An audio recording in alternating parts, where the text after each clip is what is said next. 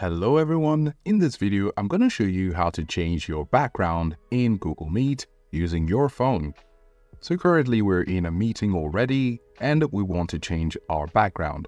Now in order to change it on your mobile device, your video needs to be turned on if you're already in a meeting. But if you're joining a meeting, you will have the opportunity to change it just before you're entering the meeting.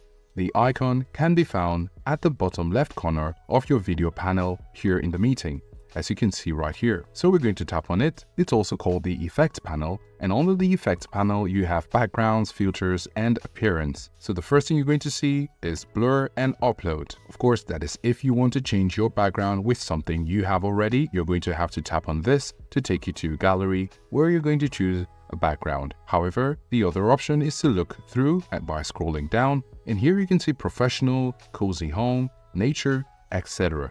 So you could decide to choose any of them. So we're going to choose this. And there you have it, our background has just changed. Now if your camera is turned on, you're going to see yourself with this background at the back. So if you're done with this and you're good with it, all you need to do is to look at the top right corner where you have the X and tap on it, and then your background will be displayed in your Google Meet meeting. If you found this video useful, please show your support with a like.